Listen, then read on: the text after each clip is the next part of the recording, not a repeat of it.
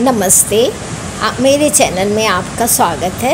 आज हम बनाने जा रहे हैं बहुत ही आसान सी स्नैक्स मंगोड़ी मंगोड़ी बनाने के लिए हमें चाहिए मूंग की धुली हुई दाल और मूंग की छिलके वाली दाल उड़द की धुली हुई दाल उड़द की छिलके वाली दाल और ये है मूठ। मूठ आपके ऑप्शन है आप डाल सकते हो ये बहुत फ़ायदे वाली होती है। ये चटनी। चटनी के लिए हमें चाहिए टमाटर, हरा धनिया, अदरक, लहसुन, हरी मिर्ची।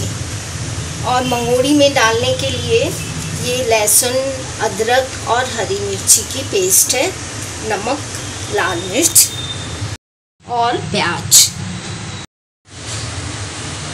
अब हम मंगोड़ी की चटनी बना रहे हैं।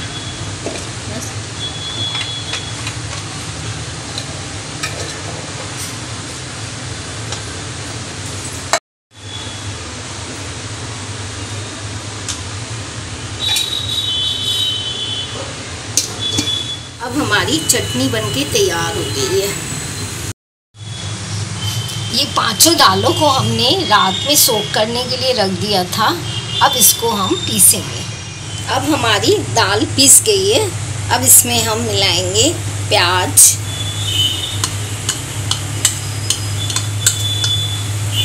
लहसुन, अदरक की पेस्ट, एक चम्मच। थोड़ी लाल मिर्च। नमक। नमक मिर्च आप अपने स्वाद के अनुसार डाल सकते हैं।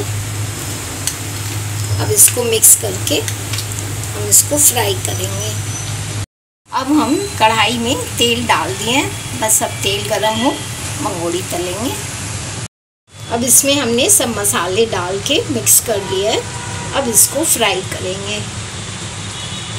छोटी छोटी मंगोड़ी डालेंगे इसमें।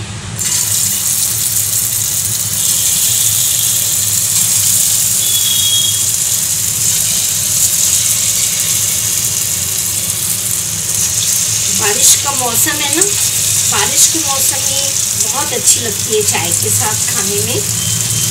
आप भी अपने घर में ट्राई करो।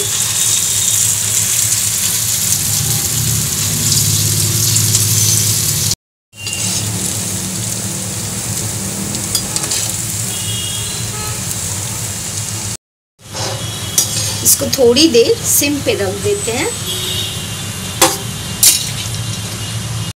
हमारी मंगोड़ी बनके तैयार हो गई है। देखिए, कितना अच्छा कलर आया है। चाय के साथ खाइए, बच्चों को बहुत अच्छी लगेगी खाने में। एक बार बच्चों को खिलाएँगे बार बार बोलेंगे, बनाओ। अब हमारी टेस्टी और चटपटी मंगोड़ी तैयार है।